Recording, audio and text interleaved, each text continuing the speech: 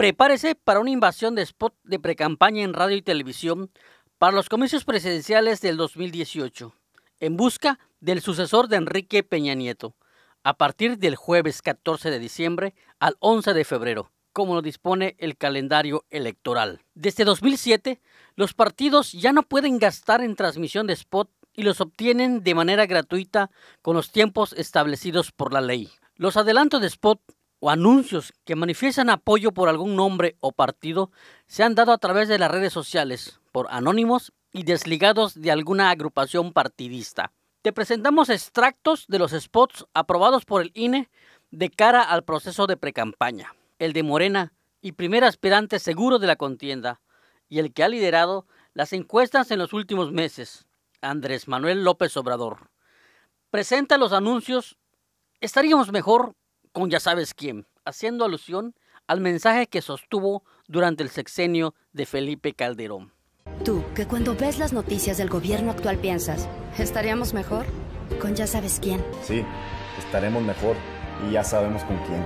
Morena, la esperanza de México. El PRI optó por José Antonio Mit Curibreña para que los abandere en la coalición que buscará retener al tricolor en el poder. Y los spots, corre la voz, y PRI Mujeres son los que estarán promocionándolo. ¡Corre la voz! ¡Corre la voz! Las mujeres serán las protagonistas centrales de nuestro crecimiento. El PAN, el PRD y Movimiento Ciudadano, aunque van como el Frente Ciudadano, llevarán su precampaña por separado. El PAN presenta precampañas con un resumen de gubernaturas. Buenos gobiernos donde la economía sí crece y en donde sí se castiga a los corruptos. PAN, el cambio inteligente. El PRD apuesta con Necesito de ti. ¿Me escuchas? ¿Estás ahí? Soy México y marca la diferencia. Por eso necesito de ti, PRD. Movimiento Ciudadano apunta con su tema Movimiento Naranja, interpretado por un pequeño perteneciente a una comunidad indígena.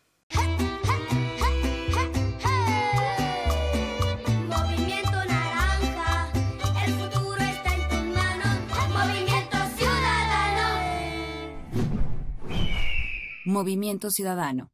El PT, que irá en alianza con Morena, se mofa de los demás candidatos y los clasifica como antihéroes. Vamos a acabar con la corrupción. Ya basta de falsos héroes. Con el PT no estás solo. El Partido Verde Ecologista de México no cambia su línea de los últimos años y siguen con su perorata de preocupación por el medio ambiente y el bienestar animal. Durante años hemos trabajado en proteger el medio ambiente y el bienestar animal. Partido Verde, cuidemos juntos el ambiente entero de nuestro país. El Partido Nueva Alianza aprovecha la unidad de los mexicanos por los sismos del 7 y 9 de septiembre. A los que dejaron de creer en México, les exigimos silencio. Gracias México.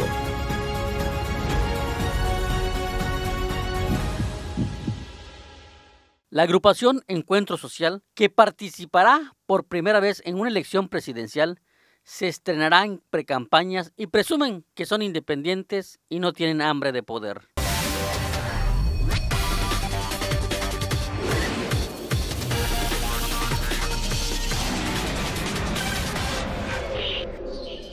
Según el estudio El costo de la democracia, si se contara la cantidad equivalente en tiempo aire en radio y TV, por la que ya no pagarán los partidos, se podría calcular un financiamiento directo de 10 mil millones de pesos. El INE aprobó solicitar a la Cámara de Diputados un presupuesto de 25 mil millones de pesos, de los cuales 6.700 serán para los partidos y 18.200 millones para los gastos operativos del organismo, el presupuesto más alto de la historia en México, ya que se gastará más de un millón de pesos por hora durante las próximas campañas federales.